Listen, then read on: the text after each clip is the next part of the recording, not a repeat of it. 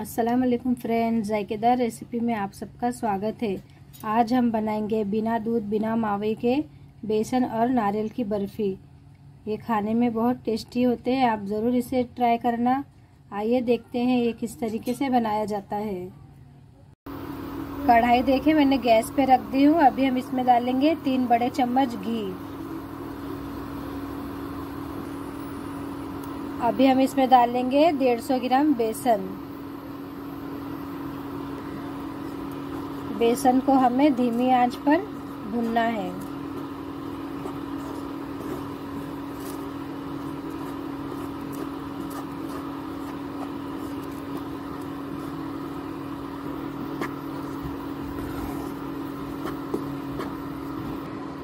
बेसन को मैंने छः सात मिनट भून चुकी हूँ। अभी हम इसमें डालेंगे आधा चम्मच इलायची पाउडर। और इसे हम 15 से 20 मिनट के लिए और भूनेंगे। हाथ हमें बिल्कुल भी रोकना नहीं है। चम्मच से इसे हिलाते ही रहना ताकि चारों तरफ़ से हमारा बेसन अच्छे से लाल हो जाए। देखिए, बेसन को मैंने अच्छे से 25 मिनट के लिए भून ली हूँ बारीक गैस पे। अभी हम इसमें डालेंगे एक गिलास पानी।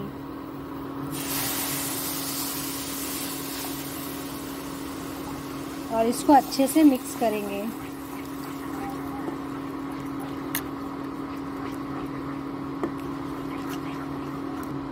अच्छे से मिक्स करने के बाद में अभी हम इसमें डालेंगे थोड़ा सा ऑरेंज कलर पानी में घोलकर हम इसे डाल देंगे और इसको भी अच्छे से मिक्स करेंगे.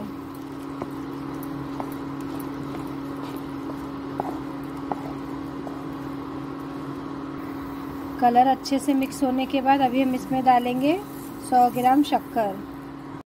अभी हम इसमें डालेंगे नारियल. ये मैंने आधा वाटी सूखा नारियल को खिस कर ले ली हूँ. और इन सारी चीज़ को हम अच्छे से मिक्स करेंगे।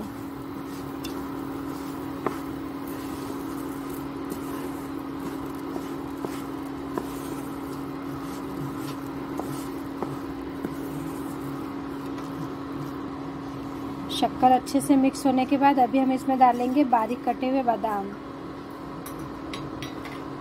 और डालेंगे बारीक कटे हुए काजू।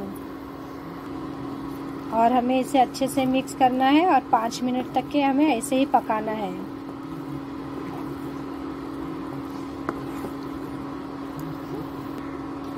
अभी देखिए, ये अच्छे से पक चुका है। शक्कर हमारी अच्छे से घुल चुकी है। अभी हम गैस को बंद कर देंगे।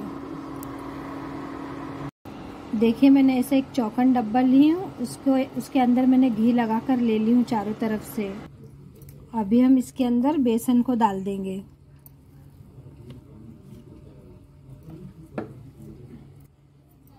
और इसको अच्छे से सेट कर देंगे।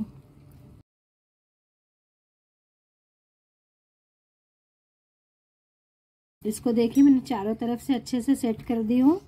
अभी हम इसके ऊपर बारीक कटे हुए बादाम डालेंगे।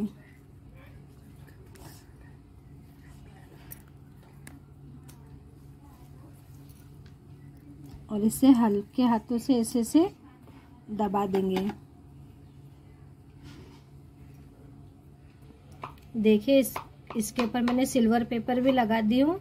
अभी हम आधे घंटे के लिए इसे ऐसे ही छोड़ देंगे, ताकि ये अच्छे से सेट हो जाए। देखिए, बेसन की बर्फ़ी सेट हो चुकी है। अभी हम इसे कट करेंगे।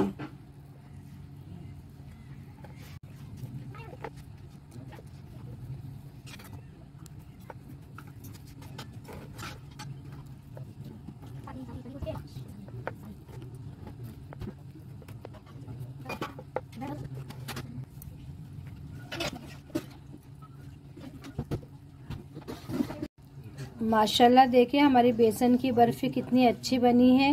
वीडियो पसंद आए तो शेयर कीजिए लाइक कीजिए सब्सक्राइब कीजिए। और कमेंट में ज़रूर बताना बेसन की बर्फ़ी कैसे बनी। अल्लाह हाफिज़।